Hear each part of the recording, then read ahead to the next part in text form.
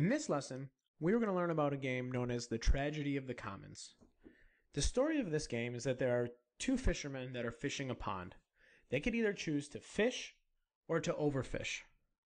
Now, if they both fish, they get a payoff of three. And the reason is that fishing a normal amount is healthy for the pond, and the pond can regenerate year after year. However, if they both overfish, the ecosystem of the pond is harmed, and future crops or future fish production will be down. And this will be bad for the fishermen, so they both earn a reward of two. If one of the fishermen fishes and the other one overfishes, well, the pond is still okay, but the person that overfished gets a much higher payoff from the one who just fished, who just fishes normally, because he, in essence, steals all of the other players' fish.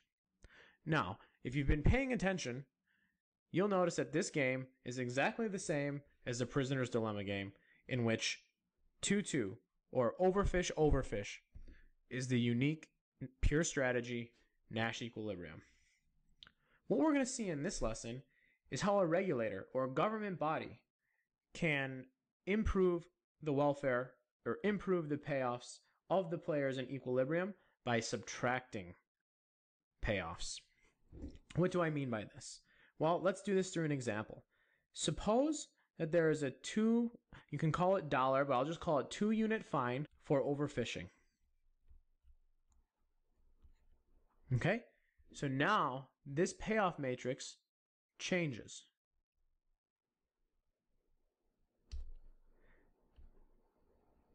So when they both overfish, okay, they get their payoff of two, but because they have to pay the fine, they each get payoffs of zero. Similarly, when one person fishes and the other overfishes, the one that overfishes gets penalized too. Of course, when they both fish regularly, nobody gets fined. So we want to see can the regulator, can the government body improve the total utility of the players by subtracting utility from some of the actions?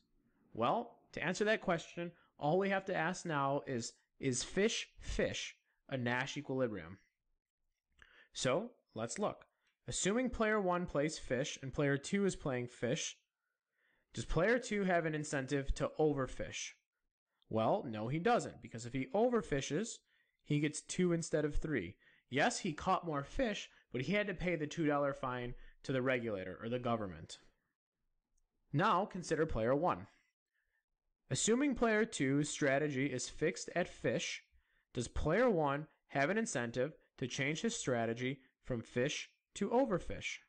Well, if he does that, he again earns 2 instead of 3, and since he prefers 3 over 2, player 1 does not have an incentive to overfish. Therefore, in the fishing game, in the tragedy of the commons, what we see is that a government regulator or a regulating body can come in and simply fine players for their actions, reducing their payoffs, but the equilibrium outcome is an increase in payoffs for all players.